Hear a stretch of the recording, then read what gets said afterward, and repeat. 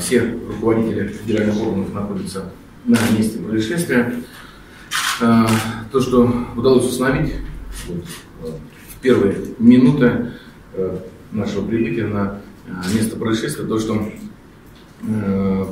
микроавтобус, который осуществлял заказные перевозки, те самые, которые нам доставляют много проблем с нарушением установленного порядка перевозки пассажиров, выехал на встречную полосу и совершил столкновение с рейсовым автобусом. В рейсовом автобусе находились несколько человек, водитель.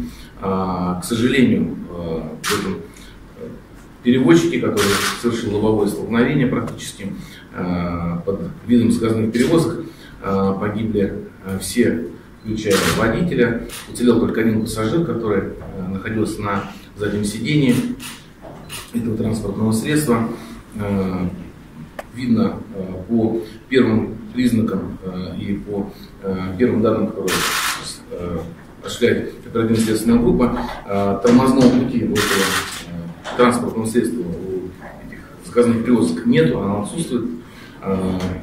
Тормозной путь у автобуса у маршрутного есть, то есть он пытался предотвратить столкновение, э, находился на своей полосе движения, а э, эта автомашина, перевозок, автобус, он, к сожалению, находился на э, частично находился на встречной, практически на встречной полосе. Для нас, конечно, это большая трагедия. Мы не скрываем, что мы очень все расстроены сильно тем, что это вообще произошло. Конечно, мы выражаем глубокие соболезнования всем близким, людям, а, тех, кто погиб, вне зависимости от того, гражданами какой страны они являются и где они проживают. А, мы делаем все возможное, чтобы а, оказать помощь тем, кто сегодня в ней нуждается. Это родственники погибших.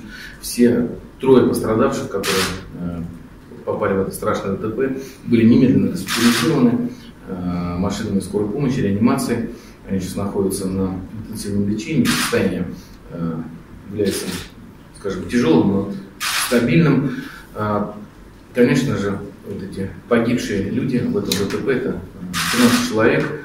Мы сейчас э, организована официальная процедура опознания, они доставлены в один из моргов э, города Твери, приглашены, будут установлены личности, приглашены родственники для проведения официальных процедур правительство приняло решение о компенсации, о выплате э, материальной помощи семьям и близким людям наших пострадавших, которые э, попали в это ДТП. Э, наверное, хотел бы особо отметить, что наша работа по борьбе с нелегальными перевозками сегодня активно идет, и мы максимально закрываем все эти лазейки, которые сегодня имеются для организации вот таких э, небезопасных э, видов деятельности. Э, к сожалению, все равно остаются представители, которые продолжают вести этот бизнес под видом незаконных, под видом заказных перевозок, осуществляют не установленные, нелегальные, не сертифицированные услуги для населения. И сегодня мы, я думаю, все прекрасно понимаем, что законы, которые сейчас приняты э, Государственной Думой в части ужесточения требований э, к пассажирским перевозкам, должны быть незамедлительно э, реализованы на нашей территории, потому что это слишком дорогая цена, которую мы платим в борьбе за наведение порядка на наших автодорогах. Ну, наверное, еще раз хотел бы сказать, что мы выражаем глубокие соболезнования всем близким и родственникам пострадавших, погибших в этом страшном ДТП. И Э, мы сделаем все необходимое, чтобы компенсировать э, ну, не только материальные, но, конечно же, и э, такие моральные, сожалению, утраты, которые повлекло это транспортное происшествие. А моя в агентство Верхневолжья Игорь Михайлович, стоит ждать радикальных мер, ну, к примеру, простите за тавтологию, одномоментно взять и закрыть просто с нашей вот стороны, это движение маршрутное и в Твери, и по области. Да. С нашей стороны стоит ждать радикальных мер, стороны правительства. А, мы об этом предупреждали.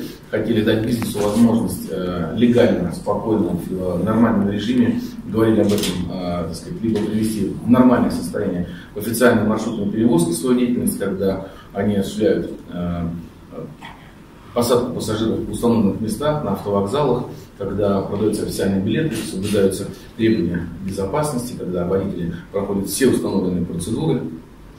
А, но, к сожалению, вот э, либеральный подход э, к таким видам деятельности, наверное, себя не оправдывает. Поэтому полагаем, что необходимо, э, наверное, уже пришло время для наведения жесткого порядка в плане организации пассажирских перевозок.